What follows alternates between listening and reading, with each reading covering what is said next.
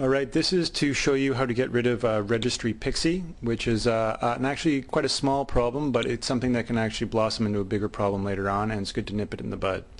Go to your operating hard drive, in this case uh, C, and go to Windows.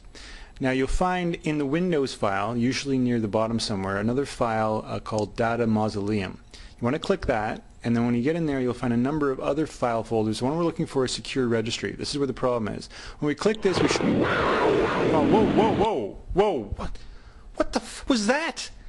That thing was huge. That thing was huge. Did you see that?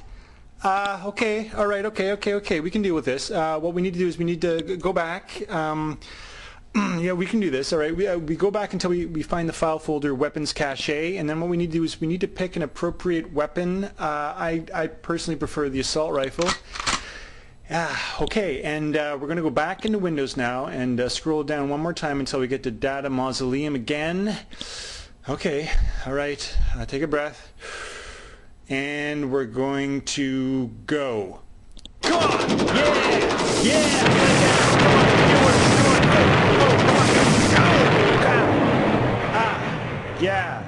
Uh, okay. All right. Um, uh, we still have an option here. If we go over to run, uh, we can type in uh, the the words for the program aerial bombardment, which is normally um, something you do only as a last resort, but in this case it seems to be a bit of a problem.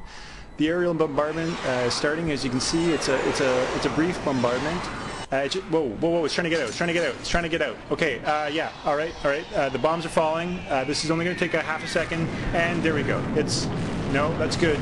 Too much, too much, too, oh. Oh, God. Um, yeah, well, that's, uh, that's not a problem you're going to have a, a second time.